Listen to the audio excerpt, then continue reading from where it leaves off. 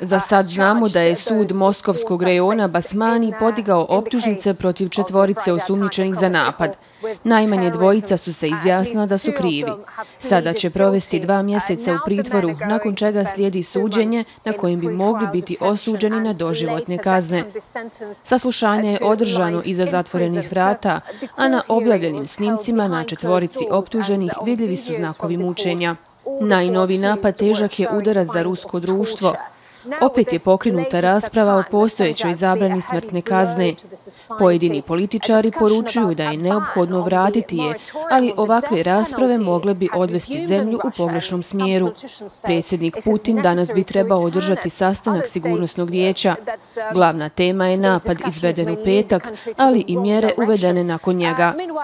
Umeđu vremenu, ruski mediji dalje pokušavaju uvjeriti svoju publiku da su za napad odgovorni Ukrajinci. Međutim, jedini argument koji ide na ruku ovoj verziji jeste da su se osumničeni vozili bijelim automobilom ka granici sa Ukrajinom.